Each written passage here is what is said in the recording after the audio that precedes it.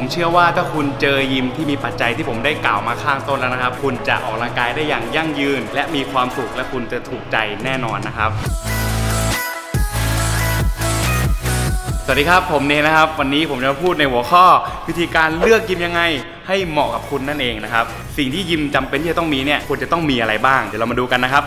สิ่งที่สำคัญนะครับ เวลาเลือกยิมเนี่ยอย่างแรกเลยคืออุปกรณ์ เรามายิมเพื่อออกกำลังกายถูกไหมครับ อุปกรณ์เนี่ยพูดตามตรงนะครับ ยิ่งเยอะคือยิ่งดี เพราะว่าแต่ละตัวเนี่ยมันจะมีข้อดีของมันนะครับ แต่อย่างน้อยๆนะครับ ผมว่ายิมที่ดีนะฮะจะต้องมีตัว rack ตัวนี้นะครับ เพราะว่าตัวนี้เนี่ยสามารถออกกำลังกายได้ครบทุกส่วนของร่างกายเลยนะครับ ไม่ว่าจะเป็นช่วงล่าง ช่วงบน หน้าแขน หลังแขน ได้ครบทุกส่วนเลย และอีกอย่างหนึ่งที่จะต้องมีนะครับ ก็คือพวกดัมเบลต่างๆนะครับ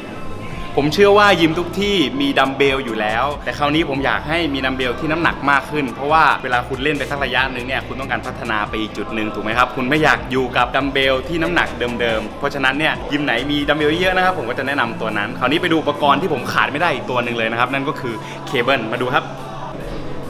ข้อดีของเคเบิลนะครับ คุณฝึกได้ทุกส่วนของร่างกายเช่นเดียวกัน แต่สิ่งที่เคเบิลที่ผมชอบเนี่ยแรงต้านมันจะคงที่ทุกช่วงในการฝึก นั่นหมายความว่ามันทำให้กล้ามเนื้อเราทำงานตลอดเวลา ซึ่งก็ work มากๆสำหรับที่ที่มีเคเบิลนั่นเองนะครับ ตัวนี้ก็ดีมากๆนะครับ คือ Smith machine ตัวพวกนี้ปลอดภัยมากๆ เวลาคุณฝึกไม่ว่าจะเป็นพวก squat ท่า leg lunge ท่า bench press ได้ทุกส่วนของร่างกายเลย ยิ่งเป็นเครื่องออกกำลังกายที่เป็นแบบนี้ machine นะครับก็จะมีความปลอดภัยที่สูง ซึ่งตัวเนี้ยเล่นได้หลายอย่างจริงผมว่ายิมจะต้องมีตัวนี้ เดี๋ยวมาดูตัวอื่นกันว่าจะต้องมีอะไรอีกบ้าง ส่วนอุปกรณ์ตัวต่างๆนะครับ จริงๆ ยิ่งเยอะยิ่งดีนะครับ เพราะพวกนี้เนี่ยมีความปลอดภัยในการฝึกมากๆนะครับ ไม่ว่าจะเป็นมุมในการฝึกที่ให้ความปลอดภัยแล้วยังฝึกได้โดนกล้ามเนื้อมากกว่าเดิม ซึ่งพูดตรงๆนะครับว่ายิมไหนที่มี machine ที่หลากหลายหรือมันก็จะดีสำหรับตัวคุณนั่นเอง ยิ่งถ้าคุณออกกำลังกายไม่ค่อยเป็นหรือว่ามีประสบการณ์ในการเล่นฟิตเนสน้อยเนี่ยผมว่าเลือกยิมที่มีอุปกรณ์หลากหลายดีกว่านะครับเพราะว่าคุณจะฝึกได้ง่ายขึ้นด้วยนะครับ หลายคนคงคุ้นเคยกันอยู่แล้วว่ายิมทุกที่เนี่ยจะต้องมีเครื่องคาร์ดิโอ แต่อยากให้ดูนิดนึงว่าถ้ายิ่งเครื่องคาร์ดิโอยิ่งเยอะเนี่ยก็ยิ่งดีต่อตัวคุณบางที มาตอนเย็นนะครับ คนเยอะเกินไปเครื่องคาร์ดิโอไม่พอนี่ก็เป็นปัญหาที่เกิดขึ้นในหลาย ๆ ยิมนะครับคราวนี้ตัวที่เราเลือกเนี่ยก็จะเป็นปั่นจักรยานก็ได้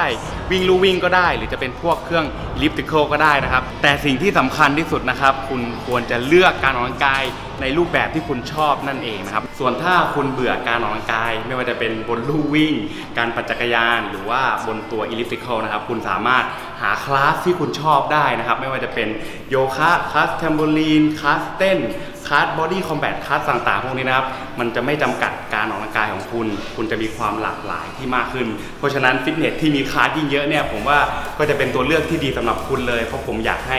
การออกกำลังกายของคุณนะครับ คุณจะได้ออกกำลังกายในรูปแบบที่คุณชอบและคุณจะทำได้นานครับ สุขภาพก็จะดีรูปร่างก็จะเปลี่ยนด้วยนะครับผม